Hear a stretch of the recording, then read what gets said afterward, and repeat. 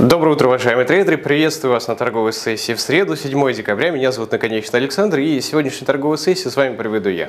Давайте рассмотрим ключевые события предстоящего дня, заглянем с вами в экономический календарь. Э, на сегодняшний день, на мой взгляд, есть две достаточно сильные э, новости, на которые стоит обратить внимание. Первое, в 15.00 по времени GMT, это решение Банка Канады по процентной ставке. На текущий момент времени целевое значение э, процентной ставки составляет 3,75%. Мы ожидаем, что сегодня Банк Канады повысит ставку на 50 базисных пунктов, тем самым приведя целевое значение к уровню 4,25%. На текущий момент времени канадский доллар торгуется, доллар канадский доллар, торгуется по цене 1.3650. Цена находится в восходящем тренде, э, доллар на фоне того, что доллар укрепляется. Э, но мы сегодня ждем, что все-таки э, вот этот восходящий тренд будет несколько сломлен, и целевое значение все-таки можно на сегодняшний день поставить на укрепление канадского доллара и движение вниз на уровень 35.50. Возможно, это движение будет краткосрочным, так как индекс доллара укрепляется, но так или иначе канадский, э, канадский банк, Банк Канады, как правило, всегда оказывает сильное влияние на национальную валюту, тем более 50 базисных пунктов для, канадского, для канадской экономики – это достаточно серьезное значение.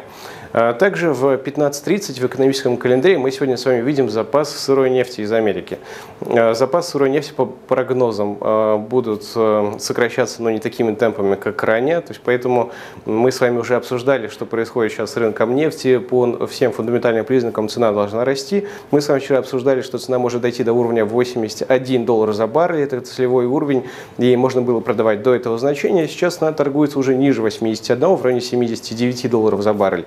Э, что ж, э, мы с вами говорили о том, что мы будем рассматривать с вами новые цели. Сейчас, на самом деле, делать это достаточно опасно, потому что всегда есть риск того, что цена будет возвращаться, но э, технический уровень 81 теперь для нас будет выступать в роли поддержки. Поэтому э, попробуем продать э, с первой целью 77 долларов за баррель, поэтому рассматриваем нефть пока э, только на снижение. Если что-то будет меняться, мы с вами можем скорректировать позицию, но пока торговать лучше в рамках текущего тренда.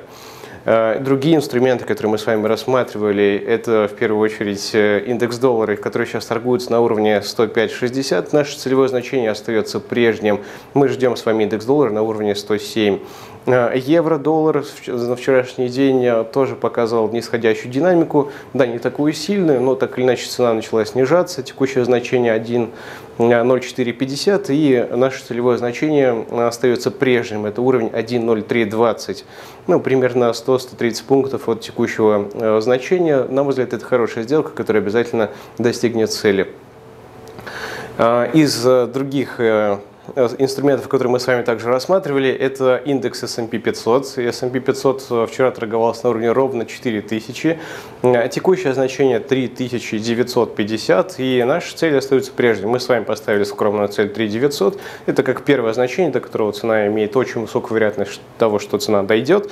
И наша цель остается прежней. Ждем S&P 500 в дальнейшее снижение. Э, из важных событий, которые были вчера, Напомню, что 8 ноября в Америке были, состоялись выборы в Сенат и Палату представителей.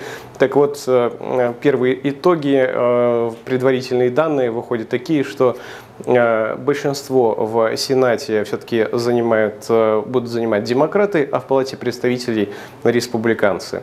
Ну, а это все новости на сегодняшний день. Наиболее важные события мы с вами осветили, ключевые финансовые инструменты разобрали. Вам желаю успешной торговли, зарабатывайте вместе с AMarkets.